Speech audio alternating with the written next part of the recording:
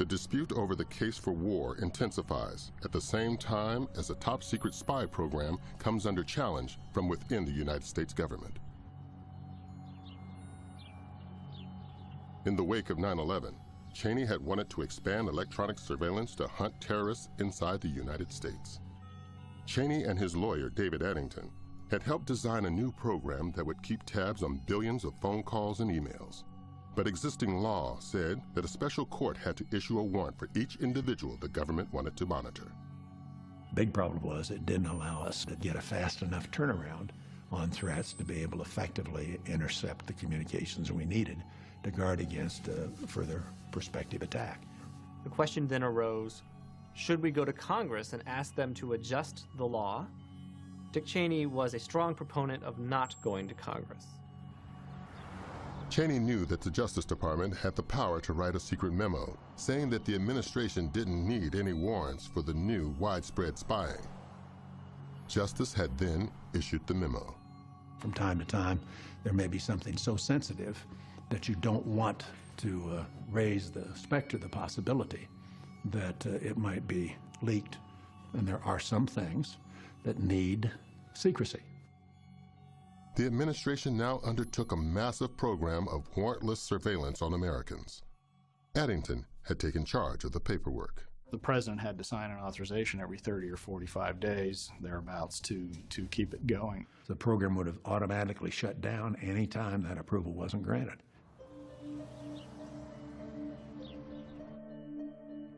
It worked. It was a good program. I think it saved a lot of lives and, and did a lot to allow us to uh, thwart uh, prospective attacks by Al Qaeda.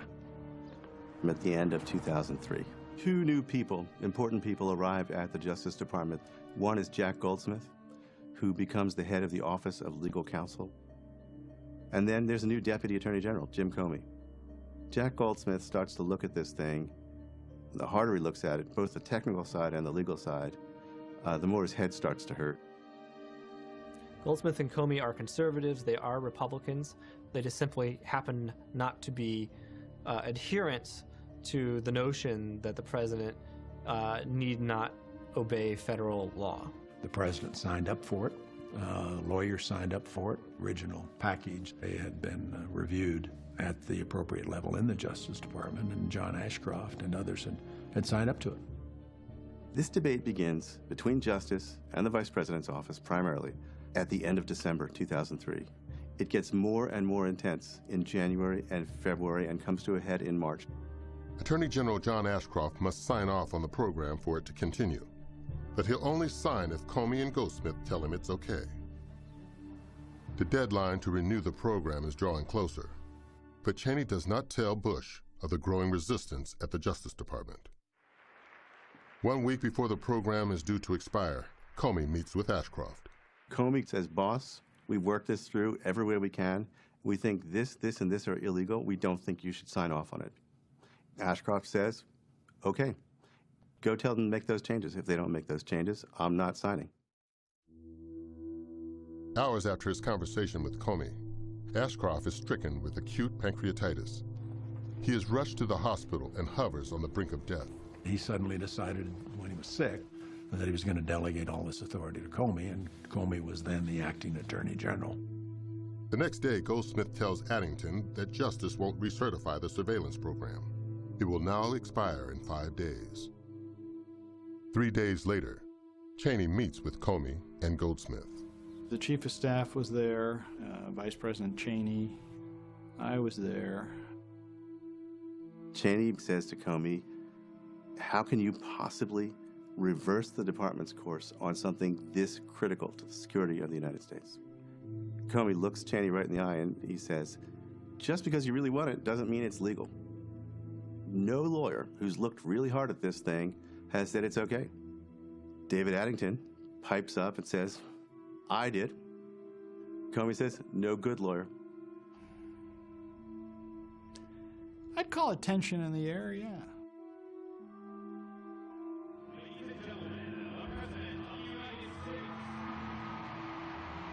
In early March, Bush is frequently away from Washington, campaigning for re-election. The day before the deadline, during a brief stop in the Capitol, Cheney finally tells him that the warrantless surveillance program is in danger. Bush is given the impression that Ashcroft's been signing all along, but now his deputy has uh, got the steering wheel for five minutes and he won't do it. He doesn't have any idea that there's been a three month controversy over this or that uh, there are big substantive objections. That night, Comey and two dozen other top lawyers at Justice prepare to resign if the administration continues spying without warrants. It will be the largest resignation in the history of the United States government. It was Wednesday, March the 10th, 2004. And how do you remember that date so well? This was a uh, very memorable uh, period in my life, probably the most difficult time in my entire professional life, and that night was probably the most difficult night of my professional life.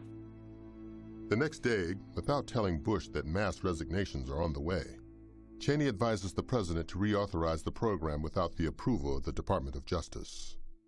The president extended the warrantless surveillance program in the face of the new opinion of the Justice Department that it was illegal. The program was reauthorized without us, uh, without a signature from the Department of Justice attesting as to its legality. I prepared a letter of resignation intending to resign. I couldn't stay if the administration was going to engage in conduct that the Department of Justice had said had no legal basis. I simply couldn't stay. George Bush, he doesn't know what the stakes are. You had, for example, the chief of staff of uh, Attorney General Ashcroft saying he's going to want to resign too as soon as he's healthy enough. You have the director of the FBI, Bob Mueller, saying if justice tells me I can't participate in this, I'm not going to. And if you order me to, I also resign. So the president now has this unprecedented meltdown happening at the Department of Justice, and he does not know it. Nobody tells him. This is March of 2004. Elections coming in November. This would have been the end of Bush's presidency. He would have been a one term president. So the next morning, they have the morning briefing, a regular Friday briefing on the terrorist threat.